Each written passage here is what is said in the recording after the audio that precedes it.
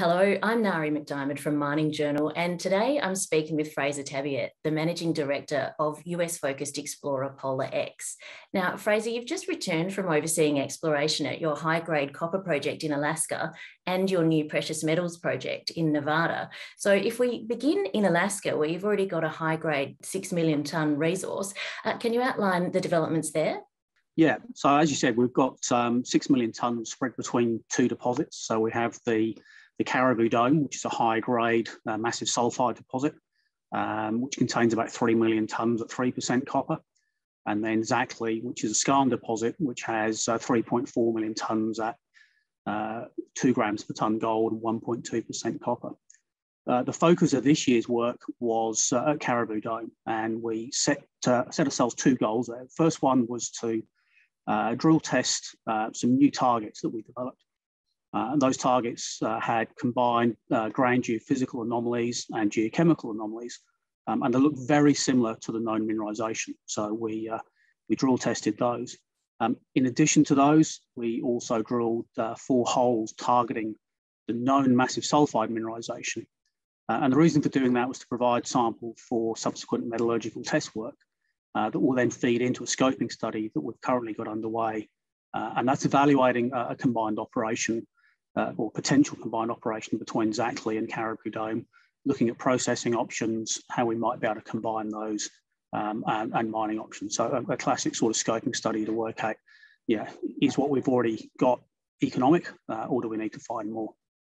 Um, yeah, so the results have been really good. We've just announced today uh, a, a, new discovery of a new style of mineralisation. So the, the exploration drilling that we did is actually um, encountered uh, a new style for us, which is native copper uh, disseminated throughout a series of, of, ancient lava flows. So this is a new one for us, um, but it's not unknown in, uh, in North America. And there are, in fact, uh, a number of um, high-grade mines that were worked um, in Michigan in, uh, in the United States uh, through until the 1990s. So, so it is a known deposit type.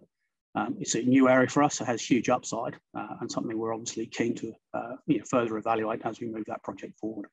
Well, if we turn now to Nevada, Frazer, and your recently acquired project, where you've recently reported some high grade rock chip samples of about 500 grams per tonne gold and 1,000 grams per tonne silver, and some large scale anomalies. Um, you've just been on site. Can you tell me what are your first impressions and what's planned there for the coming months? Yeah, well, my first impression was, wow, what a great project. I mean, it's um, it's fantastic country. Uh, the rocks are cropping out of the ground. Um, as you said, some really high grade, uh, both gold and silver veins from historical workings and, and still there, but, but, in some cases haven't been mined. So we've, we've got two claim blocks there. The southern claim block is 4th of July, and that sits within 10 kilometres of the very large Rochester uh, silver mine, which is a huge bulk mining operation producing about three and a half million ounces a year. Uh, and then our northern claim block, uh, Black Canyon, sits very close to the existing Florida Canyon mine, which is producing 60, 70,000 ounces of gold a year.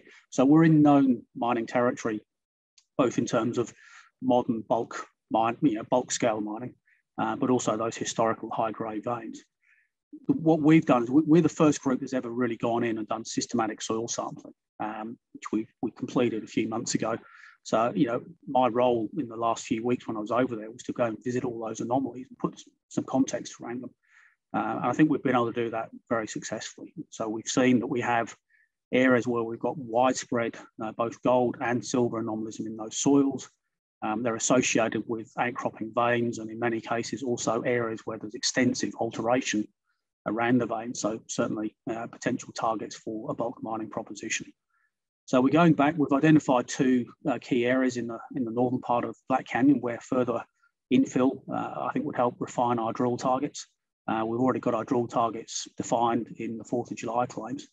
So we've got a team going back in uh, in a few weeks time. Uh, they'll put a four week program in just to infill on those two key areas uh, up in Black Canyon. Um, and then we'll have drill targets ready to get in the permitting process and, and kick that off as soon as we possibly can. Well, finally, Frazer, if we look a little further ahead, what potential share price catalysts should investors be watching out for? Yeah, I guess we've got a lot of news flow coming up in the next few months. So we've, we've still obviously got assays to come out of the uh, the drill program in um, in Alaska. So firstly, uh, the the drill assays from the metallurgical test work, which we know we'll get some really good grades from. Um, then obviously this uh, new native copper discovery, we're eagerly anticipating those results. Uh, I'd expect to have those, uh, the first set uh, sometime later this month, um, and then the, the other assay sometime in November. Um, then we've got the, the work program that'll kick off in late October um, in Nevada, and we'll have results from that sometime in late November through to December. Um, that'll obviously then flow into um, you know, drill targets we'll be able to announce to them to the market and get that underway early next year. Uh, and then finally, and I mentioned this earlier, you know, we've got a scoping study underway uh, looking at a combined Zackly and Caribou operation, potential operation, I should say. Um, and we expect to have that completed, um, I think completed internally sometime in January. Uh, we need a little bit of time to uh, think that through um, and understand the, you know, the outcomes of that, but certainly uh, look forward to uh, announcing those key results to the market I guess probably just sometime after the Australia Day holiday. A lot on the horizon. Well, Frazer, thank you very much for the update today. Always good.